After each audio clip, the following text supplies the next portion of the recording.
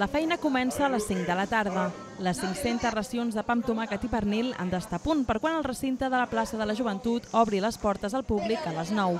Ho sap bé la colla Chicos Chicas Mil. Des de fa 15 anys els organitzadors d'aquest sopar multitudinari de Festa Major, el Jamón Jamón. És un sopar que vam decidir fer per col·laborar amb la Festa Major i bueno, es diu jamón jamón i consisteix en pa amb pernil. Tan senzill com atractiu. Prova d'això el centenar de persones que ben puntuals a les 9 feien cua per recollir el sopar. I és que més enllà del menú es tracta d'una activitat en què la companyia és el més important. És el segon any que vinc i perquè ells venen molt i m'ho van dir, que és molt divertit i que se passa molt bé i, i m'ho vaig passar molt bé l'any passat. Con la gente con la fiesta y la compañía, la amiga y ya está. Fer poble, estar aquí amb tothom, col·laborar i passar-s'ho bé. El Jamón Jamón explica moltes coses de la Festa Major de Canovelles, una de les més participatives i familiars. La festa la gaudeix tothom.